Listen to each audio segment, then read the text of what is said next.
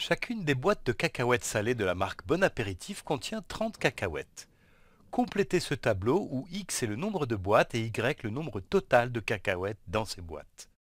Donc on a des cacahuètes qui sont rangées dans des boîtes et dans chaque boîte, il y a 30 cacahuètes.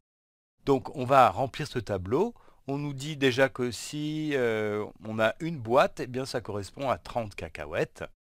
Alors si on a deux boîtes, c'est ce qu'on nous demande de remplir ici, ben, si on a deux boîtes, on a 30 cacahuètes dans chaque boîte, donc on a deux fois 30 cacahuètes, c'est-à-dire 60 cacahuètes dans les deux boîtes. Tu vois ici, le nombre de cacahuètes et le nombre de boîtes, donc Y et X, sont dans le ratio 30 pour 1. Il y a 30 cacahuètes pour une boîte de cacahuètes. Et évidemment, ce ratio doit être le même puisque les grandeurs sont proportionnelles.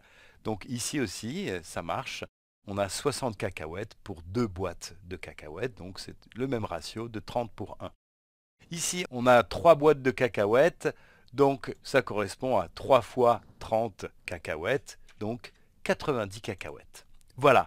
Donc ça, c'est le tableau, tu vois, c'est un tableau de proportionnalité. Le coefficient de proportionnalité, c'est 30. On passe de la grandeur x à la grandeur y en multipliant par 30 à chaque fois. Donc maintenant, on nous demande de placer dans le repère les points dont les coordonnées sont ces couples x, y.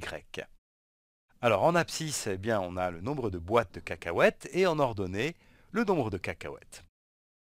Donc on doit placer ces points-là, déplacer ces points-là. Donc les points qu'on doit placer, je te rappelle, hein, c'est ceux qu'on vient de remplir dans le tableau.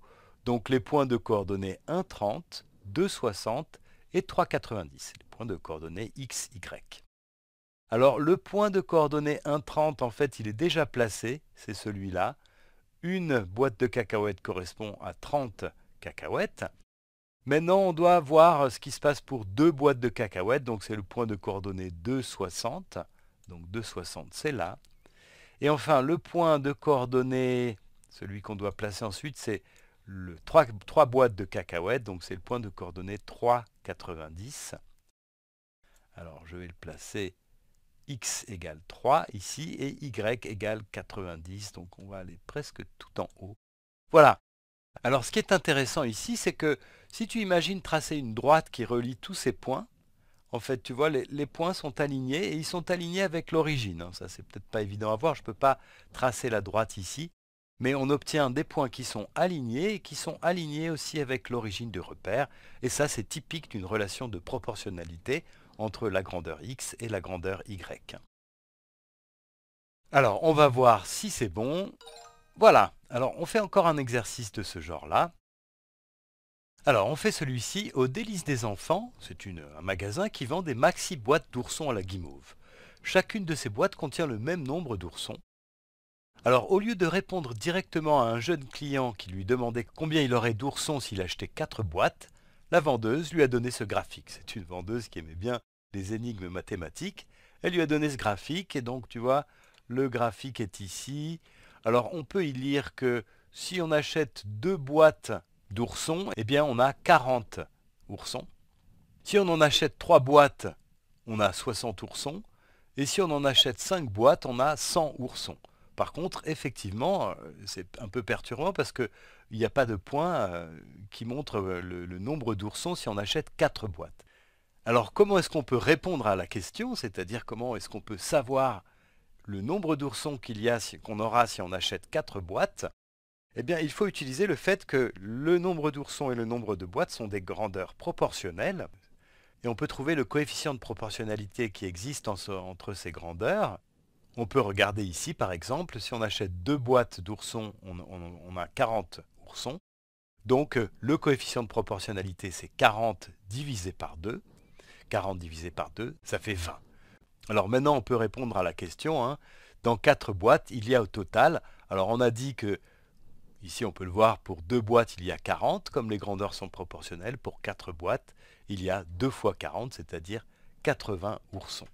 Voilà, alors c'est intéressant ici parce que tu pouvais répondre de plusieurs manières à cette question en déterminant le coefficient de proportionnalité, ce qu'on a, fait ici, hein, qui est 20, ou bien en peut-être en imaginant tracer la droite puisque les points doivent être alignés avec l'origine.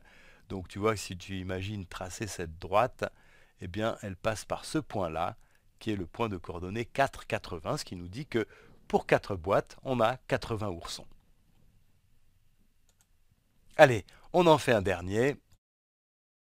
Alors, celui-ci, Sophia fait beaucoup de randonnées à vélo, sa vitesse moyenne est constante. Donc ça, c'est une indication importante, ça veut dire que la distance parcourue et le temps de parcours vont être proportionnels, hein. vont toujours être dans le même ratio. Lors de sa dernière randonnée, elle a relevé la distance parcourue au bout de 3 heures, puis au bout de 4 heures, puis au bout de 5 heures. Ensuite, elle a fait ce graphique en mettant la durée en abscisse et la distance parcourue en ordonnée. Alors elle a placé ces points-là qui nous disent qu'en 3 heures, elle a parcouru 30 km, en 4 heures, elle a parcouru, alors ici c'est 30, donc 35, 40, 40 km pour 4 heures de parcours, et en 5 heures, elle a parcouru, ici c'est 50, donc 50 km. En fait, ça nous donne la vitesse qui est constante, on nous a dit, de parcours euh, qu'elle avait euh, sur tout son trajet. Alors, cette vitesse, on peut la déterminer, hein. c'est le ratio entre la distance et la durée, donc 30 divisé par 3. En fait, c'est 10 km par heure, hein. c'est exactement ça. Donc, on va regarder maintenant la question. Si elle avait relevé la distance parcourue à un autre moment, elle aurait pu obtenir le point de coordonnée, alors un de ces points-là. Alors, il y a plusieurs manières de voir ça. On pourrait graphiquement se dire qu'il faut que le point soit aligné euh, avec les, trois autres. Et puis, une autre manière de voir, c'est qu'il faut que l'abscisse et l'ordonnée soient dans, le même ratio. Et le ratio, on a dit que c'était 30 pour 3 ou 10 pour 1, 10 km pour une heure. Donc, il faut que l'ordonnée du point soit 10 fois plus grande que son abscisse. Alors, une fois qu'on a traduit comme ça, ici, effectivement, il n'y a que ce point-là qui correspond. Ici, le ratio, c'est 1 pour 8, ou 8 pour 1 si tu le lis dans le sens plutôt kilomètres pour durée parcourue. Donc c'est pas le bon, c'est pas 10 pour 1.